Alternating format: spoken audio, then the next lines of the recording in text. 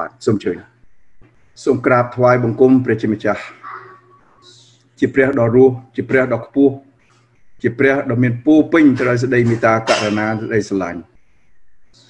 អង្គផ្គត់ផ្គង់យើងខ្ញុំទាំងអស់គ្នាក្នុងសប្តាហ៍នេះព្រះអង្គការពារយើងខ្ញុំឲ្យរួចពីគ្រោះថ្នាក់សពបែបយ៉ាងព្រះអង្គបានប្រទាននៅអាហារភោជនទាំងឡាយសម្រាប់យើងខ្ញុំទទួលទាន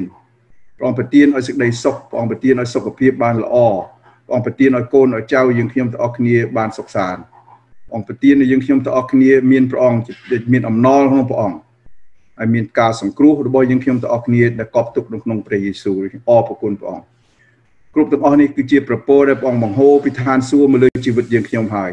ដូច្នេះយើងខ្ញុំសូមផ្ទេរប្រពោនេះថ្វាយដល់ព្រះអង្គវិញពីពពកដែលមកពីឋានសួគ៌សូមឲ្យព្រះនាមព្រះអង្គម្ចាស់ព្រះយេស៊ូវគ្រីស្ទបានប្រកបដោយពពកដែលនៅអកាលជានិច្ច សូមសរសើរព្រះអង្គសូមថ្វាយបង្គំហើយសូមទទួលការថ្វាយបង្គំពីយើងខ្ញុំទាំងអស់គ្នាក្នុងព្រះនាមព្រះម្ចាស់ព្រះយេស៊ូវគ្រីស្ទរៀបព្រះអង្គឆ្លើយទាំងអស់គ្នាឡើងថាអាមែនអរគុណព្រះអង្គខែ10នេះបាទដូចបានជំរាបចឹងថាយើងរៀនគម្ពីររ៉ូមណាបងប្អូនណាពេញមួយខែ10ហ្នឹង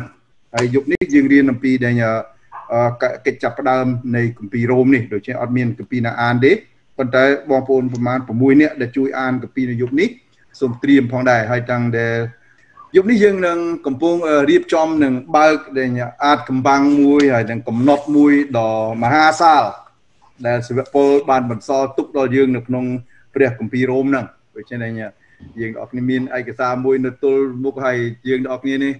ហើយមិនងាយបាទកម្រសំបីតែខ្ញុំក៏សូមសារភាពថា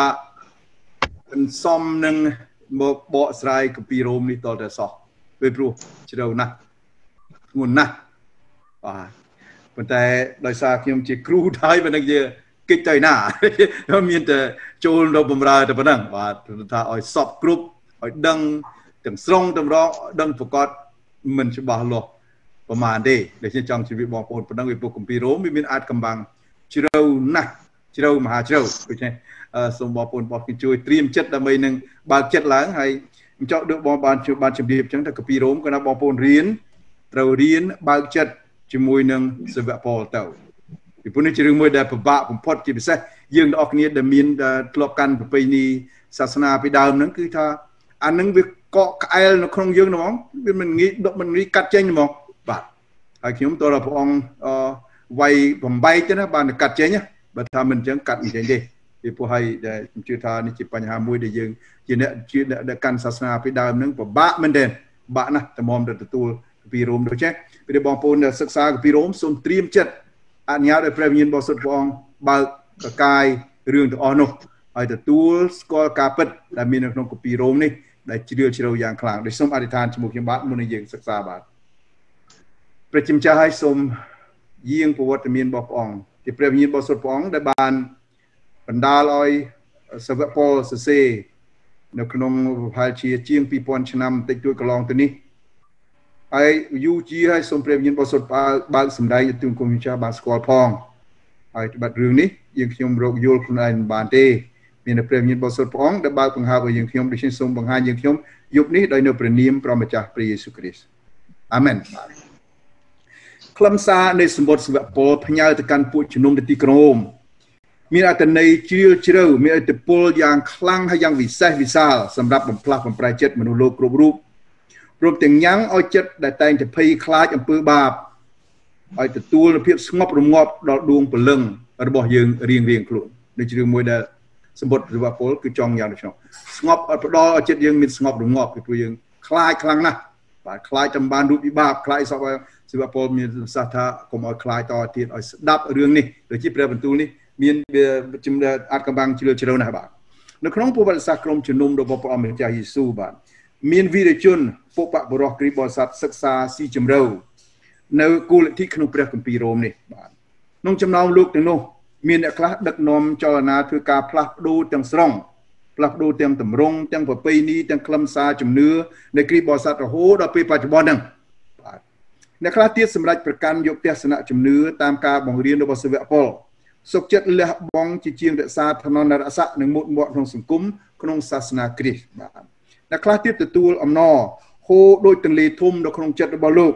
សបាយនឹងជារិភាពនៃការសង្គ្រោះទទួលបានពីសេចក្តីសុចរិតកើតឡើងដោយសារជំនឿជឿលើព្រះម្ចាស់ព្រះយេស៊ូវ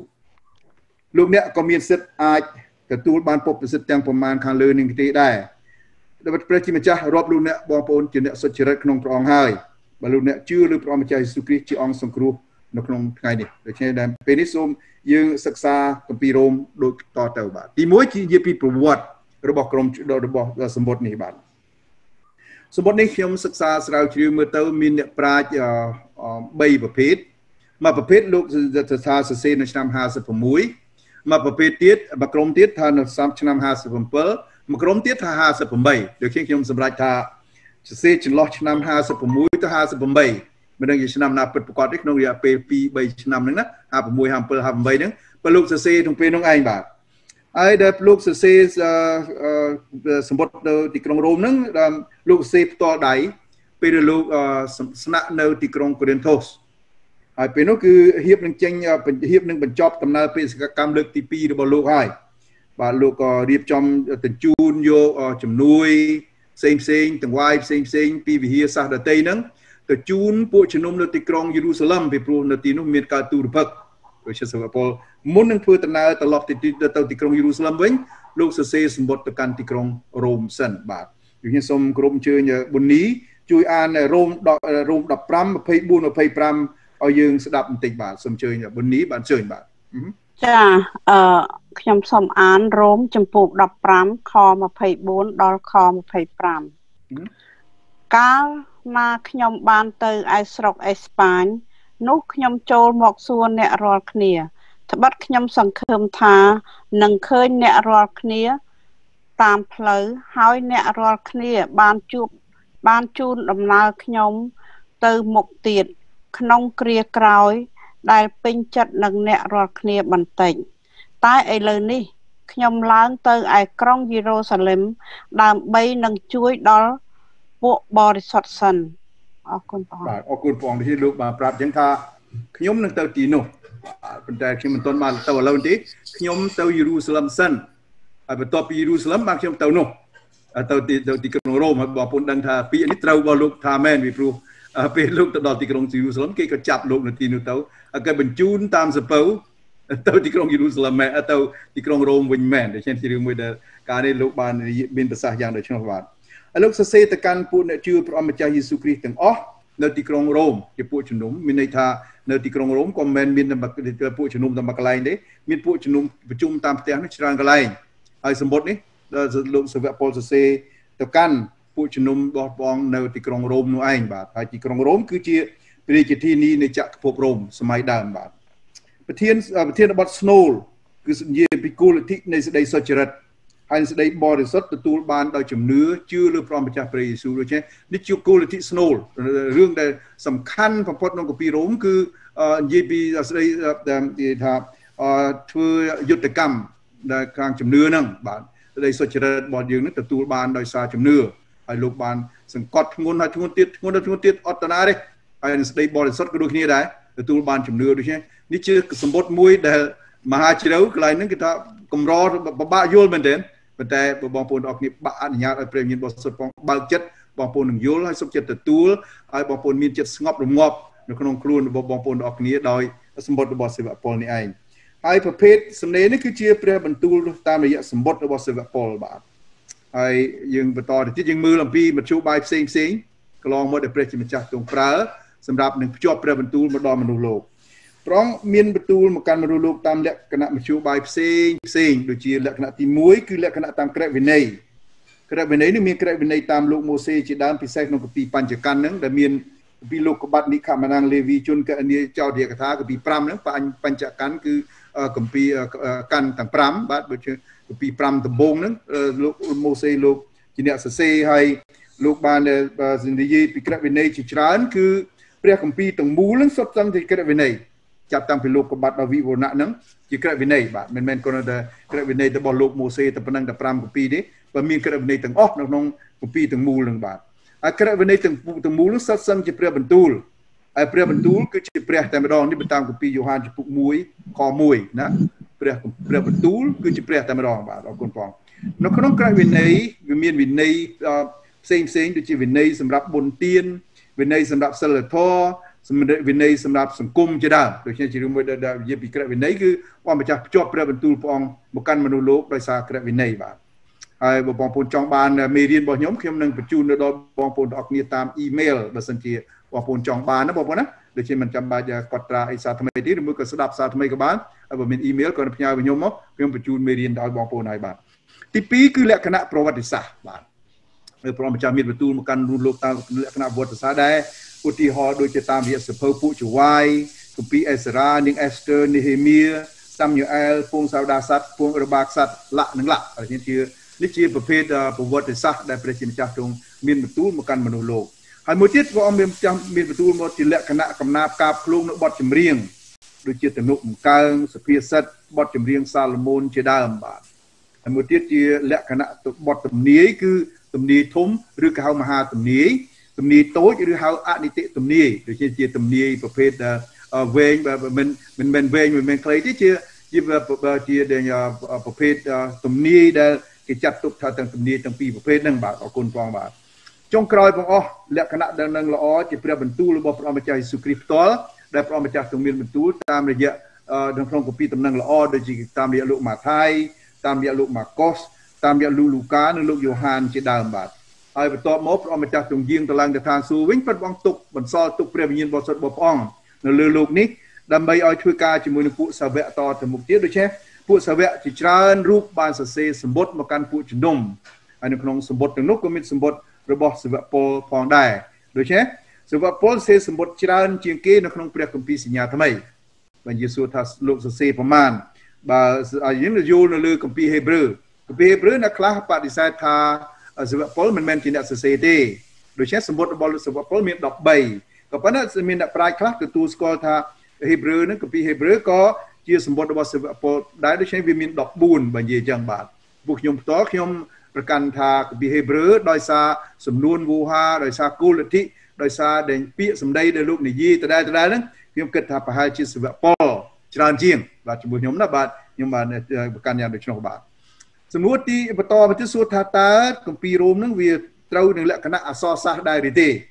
សួរថាអសរសាស្ត្រហ្នឹងវាមានន័យថាម៉េចអសរសាស្ត្រមានន័យថាជាឯកសារសម្រាប់បង្កើនចំណេះនិងប្រាជ្ញាស្មារតីដល់សិក្ខាកាមនានាដល់ជាវានរណាដែលរៀនបើរៀនទៅមើលទៅឯកសារនេះជាឯកសារប្រវត្តិដែលអសរសាស្ត្រគឺសម្រាប់បង្កើនចំណេះនេះមួយហើយសម្រាប់ដែលបង្កើនបញ្ញាស្មារតីនេះមួយបាទ នៅក្នុងវិស័យសិក្សាអប់រំផ្នែកព្រះគម្ពីរមានអ្នកប្រាជ្ញក្រាចច្រើនរូបដែរបដិសេធមិនទទួលស្គាល់ថាដែលគម្ពីររ៉ូមនឹងជាអត្ថបទដែលសមជាមួយនឹងអក្សរសាស្ត្រទេមានន័យថាវាអត់មានអីដែលបង្កើនចំណេះដល់អត់មានអីដែលបង្កើនប្រាជ្ញាមនុស្សទេវាជារឿងមួយដែលដែលគេនិយាយយ៉ាងដូច្នោះហើយអ្នកប្រាជ្ញឧទាហរណ៍ដូចជា Aldorf Fadi Saman ជាដើមលោកអត់ទទួលស្គាល់កន្លែងនឹងទេលោកបានទៅសិក្សាស្រាវជ្រាវល្អិតល្អន់ ក៏ប៉ុន្តែលោកបដិសេធខ្ញុំចង់បងប្អូនដឹងប៉ុណ្្នឹងដែរក៏ប៉ុន្តែអ្នកប្រាជ្ញគម្ពីរភាគច្រើនភាគច្រើនច្រើនលើលុបបានទទួលស្គាល់ថាសម្បត្តិរបស់សាវកពលដែលសរសើរទៅសេទៅទីក្រុងរ៉ូមហ្នឹងមានបង្កប់អត្ថន័យពីរយ៉ាង ដែលអាចចាត់ទុកថាជាឯកសារអសរសាស្ត្រផង ទី1គឺចំណេះដឹងចំណេះដឹងពាក្យថាចំណេះនេះមានន័យក្នុងកពីនិយាយថាការស្គាល់ព្រះសាវកពលនិយាយអំពីសេចក្តីជាចំណេះដឹងមួយដែលឲ្យអ្នកជឿគ្រប់រូបត្រូវតែដឹងគឺថាសេចក្តីសុចរិត របស់យើងទាំងអស់គ្នាទទួលបានដោយជំនឿព្រោះហ្នឹងគឺយើងចំណេះមួយហើយយើងស្គាល់កន្លែងហ្នឹងបាទទី2គឺនិយាយពីប្រាជ្ញាប្រាជ្ញាគឺនិយាយពីការកោតខ្លាចព្រះការកោតខ្លាចព្រះគឺនិយាយពីជីវិតបរិសុទ្ធរបស់យើងជីវិតដែលយើងរស់នៅជាមួយព្រះអង្គដោយការកោតខ្លាចព្រះអង្គហ្នឹងហ្នឹងជាដូច្នេះជាជាជីវិតបរិសុទ្ធដូច្នេះជាប្រាជ្ញាដូច្នេះព្រះម្ចាស់អ្នកប្រាជ្ញគម្ពីរច្រើនហ្នឹងនិយាយថាប្រាជ្ញានិងចំណេះដឹងទាំងពីរហ្នឹងល្មមគ្រប់គ្រាន់ដែលផ្ដល់ឲ្យមនុស្សលោក បានបានលូតលាស់ឡើងហើយរឿងនេះសរសេរនៅក្នុងគម្ពីររ៉ូមដូច្នេះគម្ពីររ៉ូមនឹងចាត់ទុកថាជាឯកសារប្រវត្តិសាស្ត្រមួយដែរបាទសរុបសេចក្តីមកសាវកពលលោកបណ្ដុះចំណេះដឹងនិងប្រាជ្ញាដល់ជនណាដែលអានសម្បត្តិរបស់លោកហើយខ្លឹមសារនៃសម្បត្តិនេះទៀតសោតបងប្អូនអានគម្ពីររ៉ូមបងប្អូនហាក់ដូចជាមានរសជាតិថ្មីថ្មីស្រស់ស្រស់ដល់ភ្នែកដល់តិចដល់គណិតរបស់យើងប្រៀបដូចជាទើបនឹងសរសេររបស់យើងពីម្សិលមិញឬទឹមទទួលសមុទ្របានអញ្ចឹង មិនណាល្អណាស់បាទអរគុណផងបាទដូច្នេះសម្បត្តិសុវពលជាមធ្យោបាយមួយប្រភេទដែលព្រះជាម្ចាស់ទ្រង់ប្រើសម្រាប់ភ្ជាប់ព្រះបន្ទូលទ្រង់មកកាន់មនុស្សលោកពលគឺព្រះបន្ទូលជាសម្បត្តិមានលក្ខណៈជាអសរសាស្ត្រដូចជាបងប្អូនប្រចាំកន្លែងនឹងបើចង់បងប្អូនបានដឹងថាសម្បត្តិរបស់សាវកពលមានលក្ខណៈអសរសាស្ត្រគ្រប់គ្រាន់ក៏ប៉ុន្តែជាសម្បត្តិដែលព្រះជាម្ចាស់ទ្រង់មានបន្ទូលមកកាន់យើងសំណួរសួរថានៅក្នុងគម្ពីររ៉ូមនឹងតើមានតម្លៃគុណតម្លៃតំណែងល្អនៅក្នុងសម្បត្តិដែរឬអត់ដូចជាយើងនេះពិភាក្សាដែរ អ្វីទៅជាគុណតម្លៃនៅក្នុងតំណែងល្អសូមបងឆាយជួយអានបន្តិចបាទនៅក្នុងកូរិនថូខ្សែទី1ចំពុក15ខ1ដល់ខ4បាទសូមបងឆាយគឺបានកូរិនថូទី1ចំពុក15ខ1បងប្អូនអើយខ្ញុំចង់ប្រាប់អ្នករាល់គ្នា ដឹងពីដំណឹងល្អដែលខ្ញុំបានផ្សាយរួចមកហើយជាដំណឹងដែលអ្នករាល់គ្នាបានទទួល ក៏ឈរជាប់ក្នុងនោះផង2អ្នករាល់គ្នាកំពុងតែបានសង្គ្រោះដោយសារដំណឹងល្អនោះផងបើគឺបើសិនជាកាន់ជាប់តាមព្រះបន្ទូលដែលខ្ញុំបានថ្លែងប្រាប់មក លើកតែអ្នករាល់គ្នាបានជឿដោយឥតបើគិត3បាត់មុនដំបូងខ្ញុំបានប្រាប់អ្នករាល់គ្នាតាមសេចក្តីដែលខ្ញុំបានទទួលដែរគឺថា ព្រះគ្រិស្តបានសុគតដោយប្រោះបាបរបស់យើងរាល់គ្នាតាមបទគម្ពីរ4ហើយថានៅក្នុងត្រង់ត្រូវគេបញ្ចុះក្នុងភ្នោរួចដល់ថ្ងៃទី3នោះទ្រង់មានព្រះជន្មរស់ឡើងវិញគឺតាមបទគម្ពីរបាទអរគុណព្រះអង្គបាទសម្រាប់ពលលោកបញ្ជាក់ថាបើអ្នករាល់គ្នាជឿលើដំណឹងល្អដែលមានសារជាតិ3នៅក្នុងហ្នឹង គឺអ្នករាល់គ្នាកំពុងតែបានទទួលការសង្គ្រោះហើយកំពុងតែមានន័យថា in the midst of ទៅអងសាំងដូចជាភាសាបារាំងណាដូចថាកំពុងតែណាកំពុងតែទទួលការការសង្គ្រោះនឹងបានហើយបើជឿលើដំណឹងល្អដែលមានដែលដែលព្រះគ្រីស្ទថាម៉េចព្រះគ្រីស្ទបានសុគតជួសសុគតដោយព្រោះបាបយើងរាល់គ្នាតាមបទគម្ពីរនេះមួយទី2សពទ្រង់ត្រូវបញ្ចុះក្នុងភ្នោរួចដល់ថ្ងៃទី3ទ្រង់មានបច្ចុប្បន្នរស់ឡើងវិញតាមបទគម្ពីរដែរ តើដំណឹងខ្លឹមសារដំណឹងល្អហ្នឹងវាមាននៅក្នុងសម្បត្តិរបស់សិវពលអត់បាទវិជាសិវពលលោកមានប្រសាសន៍ដែលលោកបញ្យលកន្លែងនេះថាមនុស្សលោកគ្រប់រូបទោះជាសាសនាក្តីដល់ព្រះម្ចាស់ទ្រមានបន្ទូថាអាយុភេទអ្វីក្តីអាយុប្រមាណក្តីរស់នៅចំនួនណាក្តីសុទ្ធតែត្រូវការលឺតំណែងល្អមួយនេះជាចាំបាច់ក្នុងឆាកជីវិតរបស់លោកដូច្នេះនៅក្នុងលោកសិវពលបានបញ្ជាក់កន្លែងនឹងថាមនុស្សគ្រប់រូបត្រូវទទួលដំណឹងល្អរបស់ព្រះគ្រីស្ទដែលមានលក្ខណៈ3ហ្នឹង មានលក្ខណៈ3ហ្នឹងគឺដូចជាសិវពលបញ្ជាក់ថាដំណឹងល្អរបស់ព្រះម្ចាស់យេស៊ូវគ្រីស្ទជាដំណឹងល្អសកលពូគឺមិនមែនសម្រាប់តែប្រជាជនមូលដ្ឋានណាមួយដែលត្រូវស្ដាប់ដំណឹងល្អប៉ុណ្ណោះទេសិវពលនិយាយនៅក្នុងកន្លែងហ្នឹងបានជាលោកខំប្រឹងចេញពីសាសយូដាហ្នឹងទៅឯសាសដតីហ្នឹងពីព្រោះលោកថាដំណឹងល្អនេះត្រូវតែប្រាប់ដល់អ្នកដតីដំណឹងល្អថាព្រះយេស៊ូវសុគតជួអំពើបាបសុគតថាថា ព្រះយេស៊ូវត្រូវគេបញ្ចុះទៅក្នុងភ្នោហើយ3ថ្ងៃឡើងព្រះអង្គរស់ឡើងវិញដូច្នេះដំណឹងល្អត្រូវតែលឺគ្រប់គ្នាបានជាហ្វុលមានថាថានៅក្នុងគម្ពីររ៉ូមលោកបញ្ជាក់ឲ្យបញ្ជាក់ទៀតអំពីដំណើរនោះថាដំណឹងល្អនេះមានលក្ខណៈសកលគ្រប់គ្នាត្រូវតែស្គាល់ត្រូវតែដឹងត្រូវតែលឺបាទលទ្ធូនីតិរបស់សិវពលនៅក្នុងទីលានដំណឹងល្អបាទក្នុងវិស័យដំណឹងល្អមានការបែងចែកទីលានផ្សព្វផ្សាយដំណឹងល្អជាពីរភពធំធំដំណឹងល្អមានតែមួយទេ ក៏ប៉ុន្តែអ្នកទទួលខុសត្រូវផ្សព្វផ្សាយមានពីរបាទសិវពលលោកទទួលទទួលការខុសត្រូវផ្សព្វផ្សាយដំណឹងល្អដល់ពិភពសាសដតីចំណែកឯសិវពេត្រុសវិញទទួលភារៈផ្សព្វផ្សាយដំណឹងល្អដល់ពិភពសាសយូដា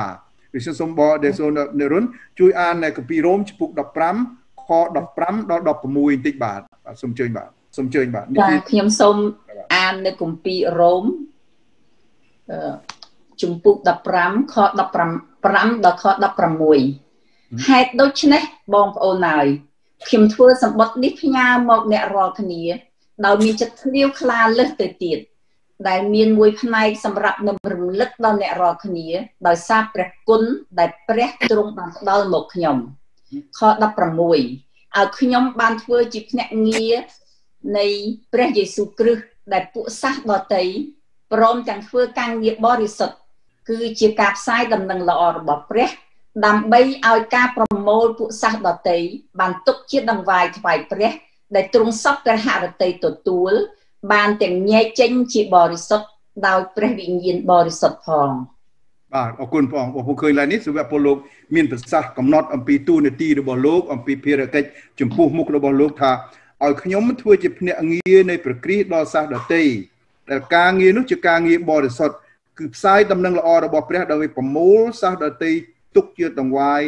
ថ្វាយដល់ព្រះសូមមើលកន្លែងនេះណាជាភារៈរបស់សិវពលបាទចំណែកលោកពេត្រុសវិញសិវពលលោកមានប្រសាសន៍ថាព្រះជាម្ចាស់ត្រាស់ហៅលោកឲ្យបំពេញទូនាទី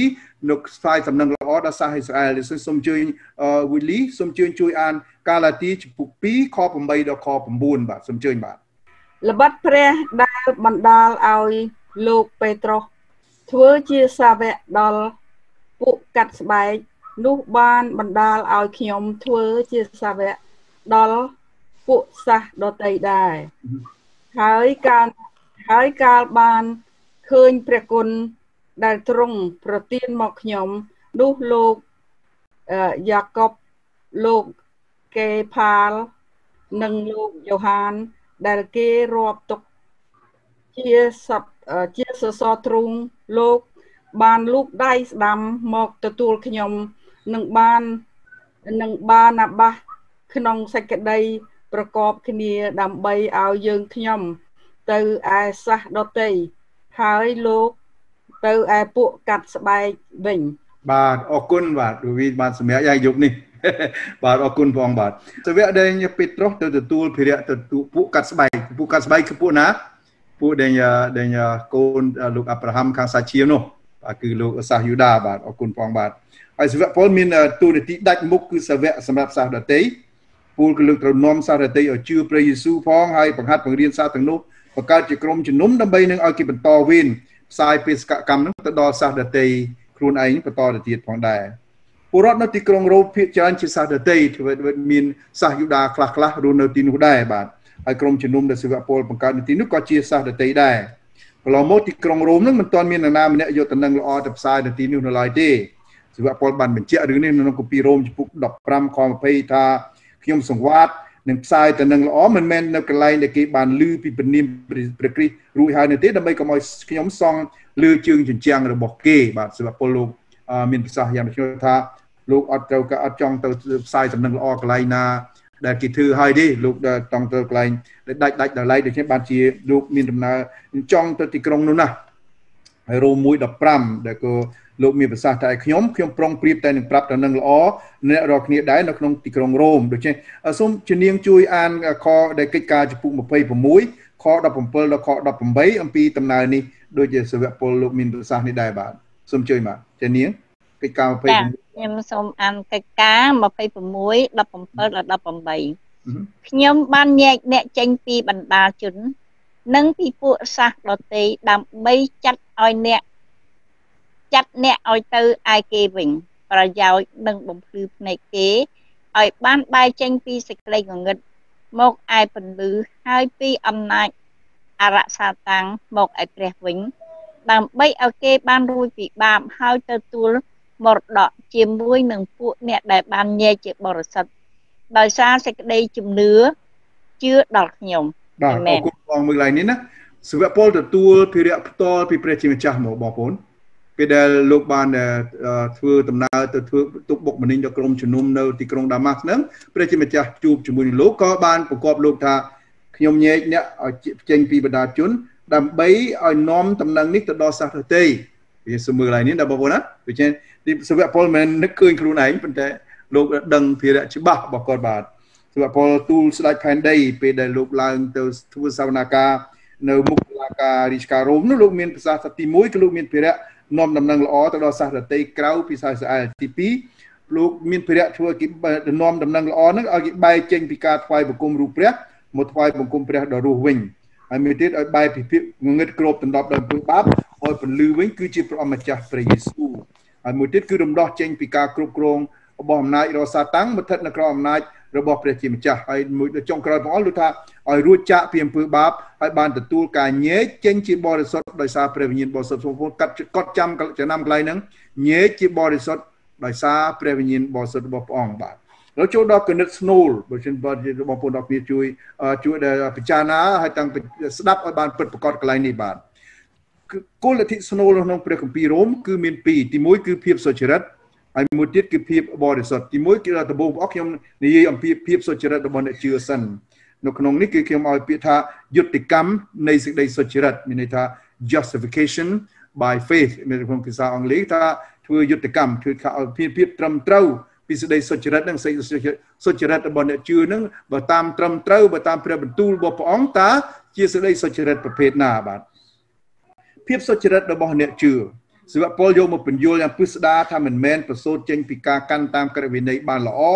ដោយសារកម្លាំងបាយកម្លាំងចិត្តរបស់មនុស្សលោកនោះទេទោះពេលមុនទោះបីកំពុងជឿសប្តាហ៍ទោះពេលទៅមុខទៀតក្តីសេចក្តីសុចរិតដែលទទួលបានពេលផ្ដើមជឿព្រះម្ចាស់ព្រះយេស៊ូវភ្លាមសេចក្តីសុចរិតនោះថិតថេរនៅជាប់ជានិច្ចអស់កលជាមួយអ្នកជឿឥតមានថយឥតមានកើនឥតមានបាត់សុពលភាពអវ័យបន្តិចបន្តួចសោះបងប្អូនចាំកន្លែងហ្នឹងណាបងប្អូនណា យើងមិនអាចបន្ថែមឲ្យមានសេចក្តីសុចរិតជាងនឹងឬមួយក៏ដកសេចក្តីសុចរិតឲ្យថយបន្តិចឬមួយក៏ថាអស់បាត់សុពលភាពឲ្យសេចក្តីសុចរិតរបស់ខ្ញុំអត់ទេបងប្អូននៅនឹងថិតថេរអស់កាលជានិច្ចសុពលភាពបាន100%នៅ100%រហូតជាប់ជាមួយនឹងខ្លួនយើងទាំងអស់គ្នាហ្នឹងបាទនេះជាការមួយបាទហើយសេចក្តីសុចរិតនេះជាឋានៈមួយបាទ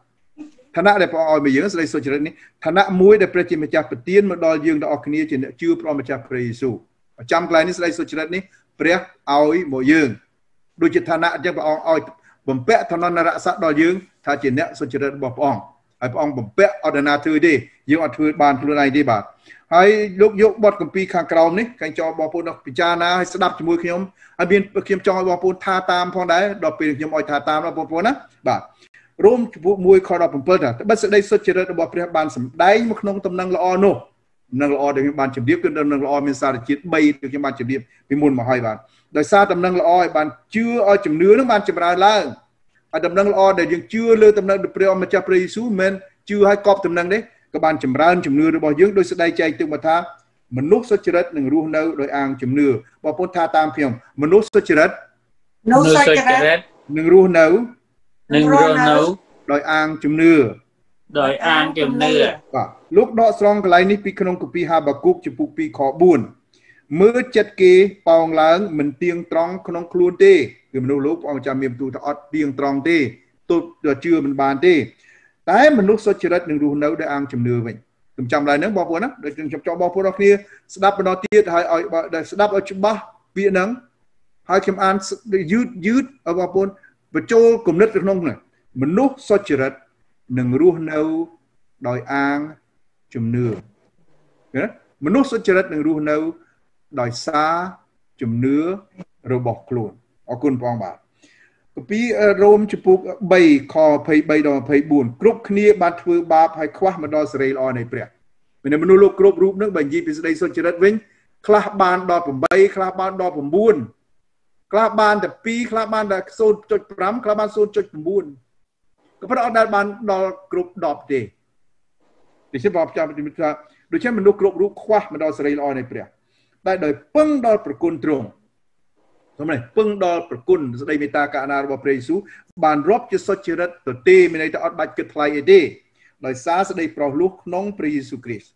រ៉ូមជំពូក5ខ1យើងរាល់គ្នាបានរាប់ជាសុចរិតដោយជំនឿនោះឈ្មោះថាយើងបានជាមេត្រីនឹងព្រះដោយសារព្រះយេស៊ូវជាព្រះអម្ចាស់នៃយើងរាល់គ្នាហើយ ហើយសាវកប៉ុលលោកមានប្រសាសន៍ក្នុងគម្ពីរកាឡាទីចំពុក2ខ20ថាម៉េចខ្ញុំរស់មិនមែនជាខ្ញុំទៀតគឺជាប្រគ្រាសដែលរស់ក្នុងខ្ញុំវិញអដែលខ្ញុំរស់ក្នុងសាច់ឈាមឥឡូវនេះគឺរស់នៅដោយជំនឿសាវកប៉ុលមានប្រសាសន៍ថាអញ្ចឹងដោយអាងជំនឿដែលយើងរស់នៅរាល់ថ្ងៃនេះបងប្អូនដរាបណាមនុស្សរស់នៅមិនដែលសុទ្ធ100%ទេក៏ប៉ុន្តែដោយអាងជំនឿនៅលើហ្នឹងបាទជំនឿពីមុនជំនឿសប្តាហ៍ជំនឿទៅមុខទៀតបាទហើយកាលទី3 11 ច្បាស់ជាគ្មានអ្នកណាបានរាប់ជាសុចរិតចំពោះព្រះដោយសារការប្រព្រឹត្តកម្មក្រឹតវិន័យឡើយបងប្អូនស្ដាប់ឮកន្លែងហ្នឹងនៅច្បាស់នោះបងប្អូនច្បាស់ជាគ្មានអ្នកណារាប់ជាសុចរិតចំពោះព្រះដោយសារការកាន់តាមក្រឹតវិន័យឡើយពីព្រោះមនុស្សសុចរិតនឹងរស់នៅដោយអាងជំនឿមនុស្សនឹងរស់នៅដោយអាងជំនឿម្ដងទៀតដែរបាទហេព្រើរ10:38ពួកមនុស្សសុចរិតនឹងរស់នៅដោយអាងជំនឿបើអ្នកថាថយទៅវិញនោះចិត្តអញគ្មានស្ដីអំណរចំពោះនៅនោះទេព្រះជាចាំមានបន្ទូលថាអញ្ចឹងណា ស្ដីសុចរិតមនុស្សហ្នឹងដែលយើងទាំងអស់គ្នារស់ហ្នឹងដោយអាងជំនឿទោះបីយើងទាំងអស់គ្នាវាវាជួបឧបសគ្គយ៉ាងណាក៏ដោយព្រះជាម្ចាស់មានទូថាបើឯងថយទៅវិញអត់សុបាយទេក៏ប៉ុន្តែបើឯងបន្តជឿអញទៅមុខទៀតអញសុបាយណាស់ណែបងម្ចាស់មានទូកន្លែងហ្នឹងណាហើយជឿទៅទៀតសុបាយណាស់ទេបងប្អូនអរគ្នាចង់ឲ្យព្រះសបាយអស់ឡើយហ្នឹងចង់ឲ្យព្រះសបាយបញ្ចោជឿទុកចិត្តអាងជំនឿទៅបងប្អូនអាងជំនឿទៅទោះបីជីវិតយើងបែបណាក៏ដោយបាទសូមចំណាំកន្លែងនេះបងប្អូនកត់ចំណាំតិចណាបងប្អូនណាកត់ចំណាំឡើងតិចបាទ ជំនឿដែលនាំឲ្យអ្នកជឿរាប់ជាសុចរិតទៀតសោតក៏មិនមែនជាកិរិយាយើងពិតដែរយើងសឿថាចុះបើខ្ញុំជឿជឿកិរិយាហ្នឹងហើយចុះមិនគាត់ថាអត់ពិតមិនមែនទេបងប្អូនជឿខ្ញុំបកស្រាយនៅខាងក្រោមបងប្អូនណាផ្ទុយទៅវិញជំនឿដែលយើងឲ្យនេះជឿពាក្យថាជឿគឺជាអំណោយដែលយើងបានទទួលពីព្រះជាម្ចាស់យកមកហើយយើងយកអំណោយនោះជំនឿរបស់យើងទៅដូរដោះជាមួយនឹងទ្រង់យកសេចក្តីសុចរិតមកវិញមើលហើយហ្នឹងបងប្អូនណាយើងយកពីព្រះអង្គទៅថ្វាយព្រះអង្គយើងមើលហើយនេះ យើងយកជំនឿពីព្រះអង្គយកទៅដូរជាមួយព្រះអង្គវិញទៅដែរដូច្នេះព្រះអង្គចាំមានទូថាដោយសារការហ្នឹងយើងទៅដៃទៅទេទៅទទួលជំនឿយើងយកជំនឿទៅថ្វាយព្រះអង្គហើយយើងទាំងអស់គ្នាបានទទួលការសុចរិតដូច្នេះ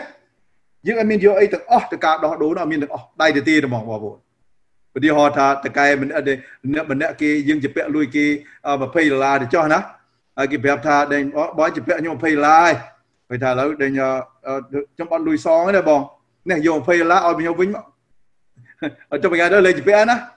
យល់បងប្អូនយល់យល់ឡើងនឹងនៅជំនឿគឺចឹងបងប្អូនគេសុខចិត្តសុខចិត្តរបស់យើងគឺចឹងយកអត់មានអីទេជំនឿក៏អត់ដែរបងឲ្យមកទៀតដូច្នេះអត់ចាំតែឡើយនេះបាទថាជាជំនឿរបស់យើងនឹងមិនមែនជាការប្រព្រឹត្តទេបងប្អូនដូច្នេះអឺបងចាំមានបន្ទូថាដូច្នេះខ្ញុំធ្វើការសរុបសេចក្តីមកចុងក្រោយបងថាម៉េចដីសុចរិតរបស់មនុស្សមានបាបទទួលពីព្រះអម្ចាស់ទទួលបានដោយសារអី ការប្រកាសសាលក្រមរបស់ព្រះជាម្ចាស់ថាអ្នកជឿដែលព្រះអង្គត្រូវរាប់ជាសុចរិតនៅចំពោះព្រះដ៏សុចរិតយុត្តិធម៌ដូច្នេះសេចក្តីសុចរិតរបស់យើងជាសាលក្រមដែលព្រះអង្គប្រកាសទេប្រកាសថាបានសុចរិតហើយនិយាយក្នុងក្នុងក្នុងក្តីអញ្ចឹងរឿងក្តីក្នុងតុលាការអញ្ចឹងបងប្រកាសមួយថាសុចរិតហើយនេះជាសាលក្រមមួយដែលរាប់មកយើងហើយយើងមិនអាចធ្វើសុចរិតដល់បានខ្លួនឯងគឺសេចក្តីសុចរិតនេះបានដោយសារការប្រកាសសាលក្រមរបស់ព្រះអង្គតែប៉ុណ្្នឹងទេអរគុណព្រះអង្គបាទ ឥឡូវភាពបរិសុទ្ធរបស់អ្នកថ្មីបាទសិវពលមានផ្ដល់អត្តន័យនៃពាក្យបរិសុទ្ធដល់អ្នកជឿថាការញែកទុកដោយឡែកដោយសារព្រះវិញ្ញាណបរិសុទ្ធពាក្យបរិសុទ្ធនេះប្រសូតចេញពីផលប្រព្រឹត្តនៃសេចក្តីសុចរិតដែលអ្នកជឿទទួលបានដោយសារជឿដល់ព្រះម្ចាស់ព្រះយេស៊ូវម្យ៉ាងទៀតភាពបរិសុទ្ធចរិតនេះទៀតសោតក៏មានកម្រិតខុសគ្នាពីអ្នកជឿម្នាក់ទៅអ្នកជឿម្នាក់ទៀតតាមមិនលឺនៃកិច្ចការកិរិយាប្រព្រឹត្តរបស់បុគ្គលរៀងរៀងខ្លួនលើសពីនោះទៅទៀតនេះបងប្អូនទៅចាំកន្លែងនេះថា ភាពបរិសុទ្ធដែលអ្នកជឿទទួលបាននេះមិនអាចឈានដល់កម្រិតមានភាពបរិសុទ្ធគ្មានកន្លែងបន្ទោសបាននោះទេភាពបរិសុទ្ធដែលយើងប្រព្រឹត្តរាល់ថ្ងៃនេះគឺមានកន្លែងបន្ទោសបានសូម្បីខ្លួនឯងក៏បន្ទោសដែរ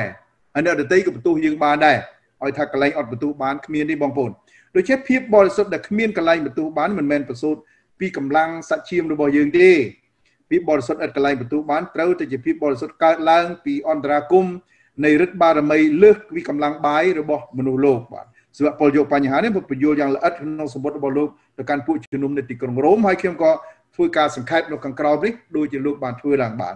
គោលលទ្ធិស្ដីពីភាពបរិសុទ្ធស្ថិតនៅលើហេតុការណ៍ដែលអ្នកជឿម្នាក់ទទួលបានការញែកបរិសុទ្ធចេញដោយឡែកអំពីអំពើបាបនានារបស់លោកីទាំងមូលហ្នឹងពលគឺភាពបរិសុទ្ធដែលកើតឡើងក្នុងកំពុងដែលយើងទាំងអស់គ្នារស់នៅប្រឡូកពោបៈ ជាមួយនឹងភាពបមិនបរិសុទ្ធនានានៅក្នុងលោកប្រចាំថ្ងៃហ្នឹងរឿងនេះសំខាន់ណាស់បងប្អូនដែលយើងអាចទទួលបាននូវភាពបរិសុទ្ធឥតកន្លែងបន្ទោសបានកើតដល់យើងទោះយើងកំពុងរស់នៅខ្វះភាពបរិសុទ្ធគ្រប់បន្លឺក៏ដោយហើយភាពបរិសុទ្ធនេះប្រភេទនេះតើអាចកើតដល់យើងដោយប្រភេទណាបងប្អូនភាពបរិសុទ្ធប្រភេទនេះអាចកើតមានដល់យើងទៅបានដោយសារព្រះវិញ្ញាណបរិសុទ្ធទ្រង់ញែកយើងចេញដោយឡែកទុកជាភាពបរិសុទ្ធសម្រាប់ព្រះអង្គតែម្យ៉ាងប៉ុណ្ណោះបាទតែ sanctification ភាសាអង់គ្លេស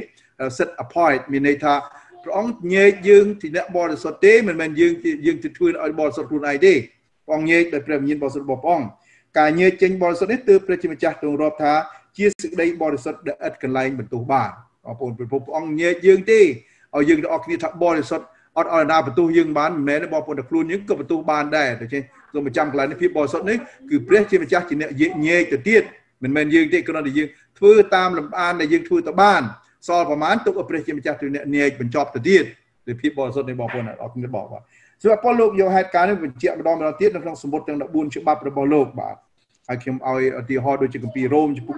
15ខ16ជាដើមថាដើម្បីឲ្យការប្រមូលពួកសាសដតីដើម្បីឲ្យការប្រមូលសាសដតីបានទុកជាតង្វាយថ្វាយព្រះដែលទ្រង់សពប្រតិ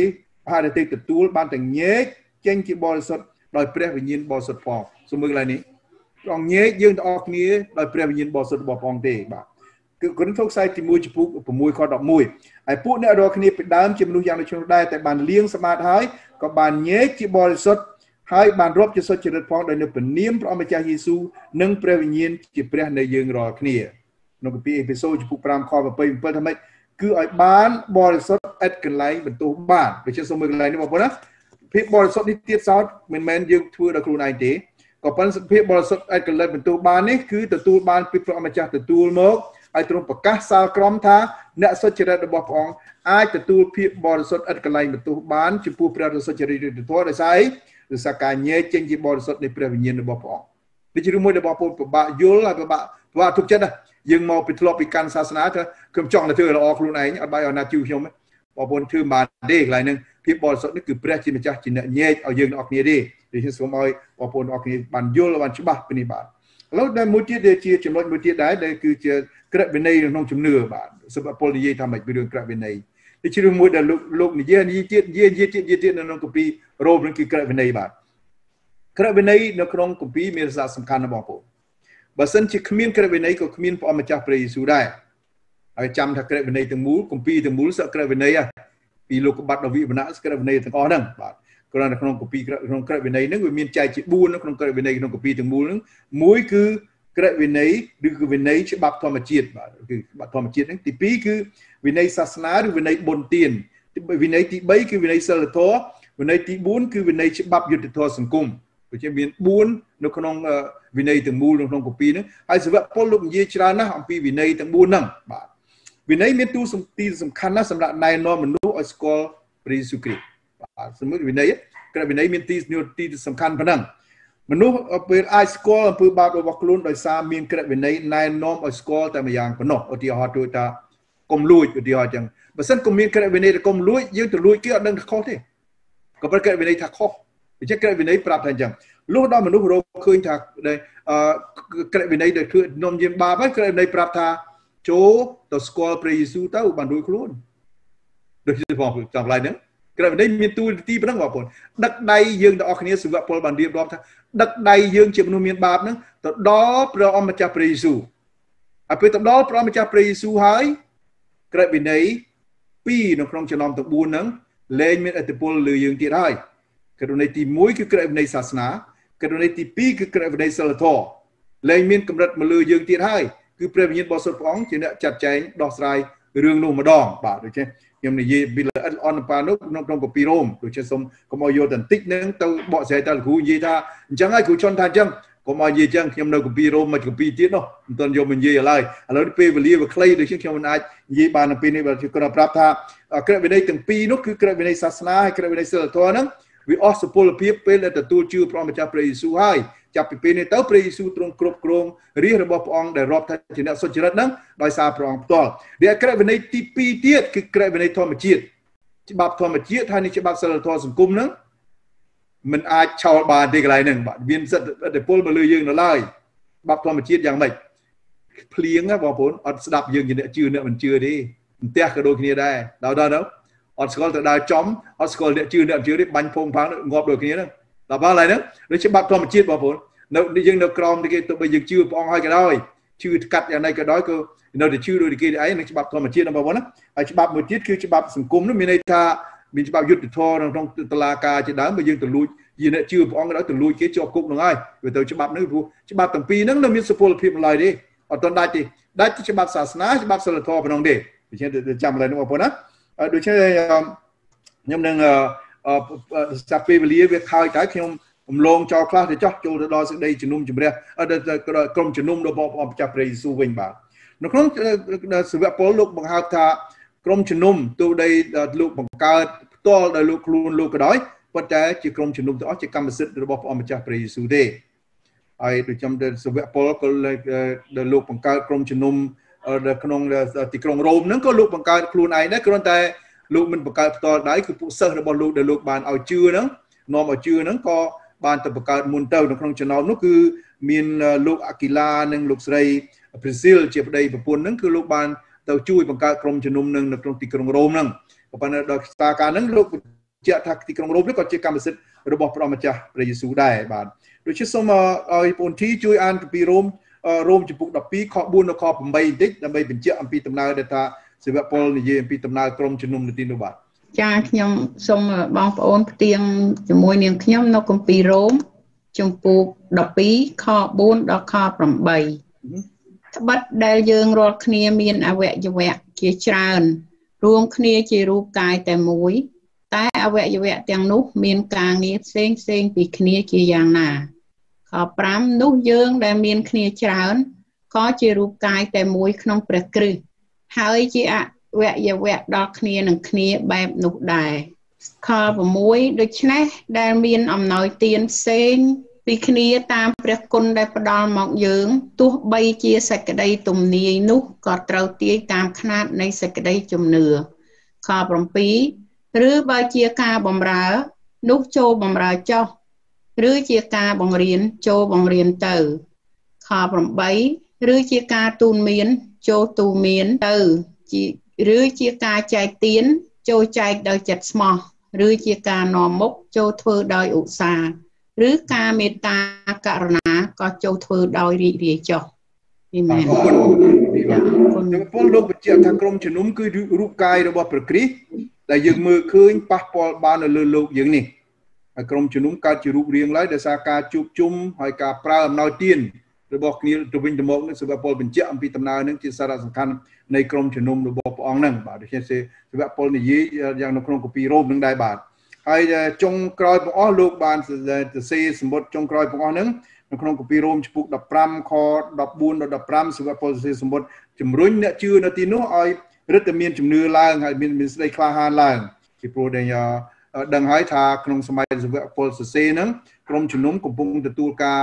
បៀតបៀនយ៉ាងខ្លាំងណាស់ដល់ជីវិតទៀតផងបាទហើយពេលដែលសរសេរហ្នឹងគឺមានតែដូចជានៅក្នុងទីក្រុងរ៉ូមគេដែរគេចាប់យកអ្នកជឿទាំងរយទាំងរយអ្នកទៅរុំនឹងស្បែកគូទៅទឹកហើយគេចាក់ជ័រនៅលើនឹងហើយគេលើកដាក់លើលើដែលសសរឡើងដុតយកធ្វើអស់យកធ្វើដែលអស់ដុតបំភ្លឺនៅពេលយប់ ដើម្បីកីឡាប្រកួតអូឡ িম্প ពិកអីចឹងទៅដូចគេធ្វើអញ្ចឹងបាទហើយនៅខ្លះទៀតគេបើកដែលឲ្យបើកឲ្យដែលគ្រីបោសាត់ដែលល្បីល្បីហ្នឹងយកទៅដល់ដែលឲ្យទៅប្រយុទ្ធជាមួយតជាមួយតនៅទីក្រុងរ៉ូមជាដើមដូចចេះគេស្លាប់អាក្រក់ណាស់ដូចជាបានជាសាវកពលសរសេរសមុទ្រតទៀតថាឲ្យអ្នករាល់គ្នាឈរឲ្យបានរឹងមាំនៅចំពោះព្រះអង្គនិយាយបងប្អូនហើយដល់ការបៀតបៀន325ឆ្នាំបងប្អូនជំនុំរឹងមាំមែនទេ ក្រុមជំនុំ325ឆ្នាំអត់ស្រួលដូចយើងសប្តាហ៍នេះទេពិបាកណាស់ប៉ុន្តែសិវៈពលថាឲ្យឈរឲ្យបានរឹងមាំដោយសារការបៀតបៀននោះឯងបានជាមានក្រុមជំនុំមកទល់សពថ្ងៃនេះបងប្អូនដូច្នេះបើបងប្អូនមានការបំបាក់ឲ្យប្រការណាក្នុងអ្នកជឿដូចជំនឿរបស់យើងណាទទួលការលើកទឹកចិត្តពីសិវៈពលថាបន្តជំនឿយើងតទៅមុខទៀតបាទសិពលជម្រាបជូនពួកដែលពួកជំនុំពីភារៈរបស់លោកដែលលោកធ្វើការសាស្ត្រដតេនឹង បានលទ្ធផលយ៉ាងម៉េចយ៉ាងម៉េចក្នុងគម្ពីររ៉ូមចំពុក15ខ17ដល់21ហើយលោកសន្យាថានៅក្នុងរ៉ូមចំពុក15ខ22 29ណាម៉េចលោកសន្យាថានឹងចុះទៅសួរសុខទុក្ខពួកជំនុំនៅទីក្រុងរ៉ូមហើយមួយទៀតលោកសម្ដែងគិរិយកិច្ចចំពោះមិត្តភ័ក្តិនិងសមាជិកក្រុមជំនុំរបស់លោកនៅក្នុងរ៉ូមចំពុក16ហើយលោកបានថាឲ្យប្រយ័ត្នចំពោះបុគ្គលដែលបង្កឲ្យមានការបែកបាក់នៅក្នុងក្រុមជំនុំបងប្អូនសូមចាំកន្លែងនេះថាសូម្បីសម័យដើមសម័យលោកសវពលលោករស់នៅនោះក៏មាន ពួកអ្នកដែលបង្កឲ្យមានការបែកបាក់នៅក្នុងក្រុមជំនុំដែរដូចសពថ្ងៃក៏មានដូចជាគ្នាបងប្អូនវាមិនអត់ទេដូចជាការមួយដែលថាការរឿងជារឿងធម្មតាជារឿងសាមញ្ញនៅក្នុងក្រុមជំនុំរបស់ព្រះអង្គទៅហើយលោកបន្ថែមនៅក្នុងខដែលចំពោះ16ដែរខ21 23ថាមានអ្នកដាក់ដៃគូអ្នកដែលបម្រើព្រះអង្គជាមួយលោកក៏សូមជូនដំណឹងមកសួរសុខទុក្ខដល់ពួកជំនុំផងហើយចុងក្រោយបងអស់លោកបានធ្វើការជូនពរយ៉ាងកក់ក្ដៅដល់ពួកជំនុំទីក្រុងរ៉ូម នៅក្នុងជាក្រុមចំពុក16ពីខ24ឡើងទៅបាទដូច្នេះជាសរុបសេចក្តីកន្លងមកបាទខ្លឹមសារនៃសម្បត្តិនេះមានអត្ថន័យជ្រាលជ្រៅណាស់បងប្អូនមានទិពលយ៉ាងវិសេសវិសាលសម្រាប់បំផ្លាស់បំប្រែចិត្តមនុស្សរួមទាំងញ៉ាំងឲ្យចិត្តយើងទាំងអស់គ្នាដែលខ្លាចអំពើបាបនឹងបានទទួលភាពស្ងប់រងាប់ដល់ព្រលឹងរបស់យើងផងដែរខ្ញុំឲ្យឧទាហរណ៍មួយដូចជាលោក Martin Luther បងប្អូនស្គាល់ទាំងអស់គ្នាហើយបាទលោកធ្វើការសិក្សាព្រះគម្ពីររ៉ូមហ្នឹងល្អ រហូតដល់ហ៊ានតតាំងជាមួយភាពកុសឆ្គងដែលកើតមានឡើងនៅក្នុងក្រុមជំនុំសម័យដើមបង្កើតជាចលនាបដិវត្តសាសនាគ្រីស្ទបំបែកចិត្តមនុស្សលោកឲ្យមកសាងតំណែងជាមួយព្រះម្ចាស់ព្រះយេស៊ូវឲ្យរបស់ព្រះជាម្ចាស់តាមរយៈព្រះយេស៊ូវគ្រីស្ទពលគឺមិនចាំបាច់ទៅពឹងតាក់ទងនរណាផ្សេងឲ្យតាក់ទងព្រះជំនួសទេឲ្យទៅផ្ទាល់ផ្ទាល់ខ្លួនទៅនេះជាលទ្ធផលដែលយើងកាត់ជា Protestant សប្តាហ៍នេះគឺដោយសារលោក Martin Luther លោករៀនគម្ពីររ៉ូមនេះបានល្អអន់បាទ ហើយបេដាជំនឿមួយរូបទៀតមានលោកមានប្រសងរាជឈ្មោះលោកក្រៃសូតុមបាទលោកក្រៃសូតុមលោកអានព្រះគម្ពីររ៉ូមក្នុងមួយសប្តាហ៍ពីរដងបាទដោយយល់ពីអាចកំបាំងនៃសេចក្តីសុចរិតទទួលបានដោយសារជំនឿលើព្រះអម្ចាស់យេស៊ូវគ្រីស្ទផ្ទាល់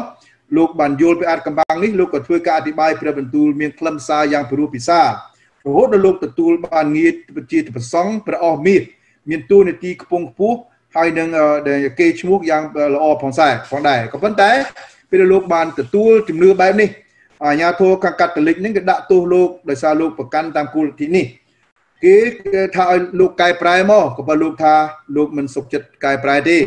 លោកសុខចិត្តយកការសុគតហើយជាជាងការដកចិត្តពីទស្សនៈជំនឿបែបនេះ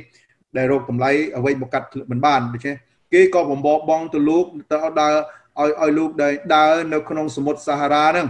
ឲ្យទូលដែលទូលដែលឲ្យទូលខ្សាច់ហ្នឹងទូលរហូតដល់លោកសុគត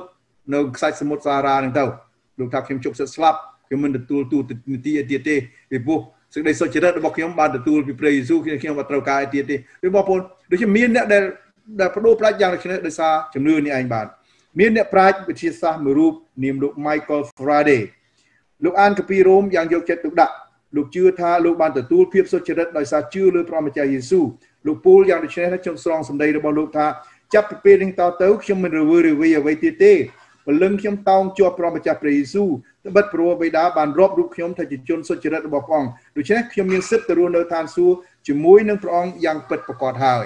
សូមមើលកន្លែងនេះណាដូច្នេះលោកអឺមានសង្ស័យមានរវើរវាយទេលោកអ្នកបងប្អូនក៏ដូចគ្នាដែរបានលឺរឿងនេះហើយថាដែលសេចក្តីសុចរិតដែលយើងបានទទួលនោះមិនមែនខ្លួនយើងប្រព្រឹត្តអំពើដែលអំពើល្អដោយប្រការណាមួយទេដោយសារជំនឿដែលយើងជឿហ្នឹងយើងទទួលបានសេចក្តីសុចរិតមក ហើយសេចក្តីបរិសុទ្ធរបស់យើងដែលទទួលពីភាពសុចរិតហើយហ្នឹងក៏ព្រះជាម្ចាស់ញែកដោយព្រះវិញ្ញាណបរិសុទ្ធរបស់ព្រះអង្គដែរដូច្នេះបើបងប្អូនជឿព្រះម្ចាស់ព្រះយេស៊ូវលោកអ្នកបងប្អូនមានសេចក្តីសុចរិតនោះហើយសេចក្តីសុចរិតនោះកើតមានដល់បងប្អូនទាំងអស់គ្នាឥតមានថយឥតមានបន្ថែមឥតមានអស់សុពលភាពដែរដូច្នេះសូមព្រះជាម្ចាស់ប្រទានពរជាខ្លឹមសារនៃគម្ពីររ៉ូមនិយាយពីអត្តន័យជាសេចក្តីផ្ដើមនេះហើយយើងនឹង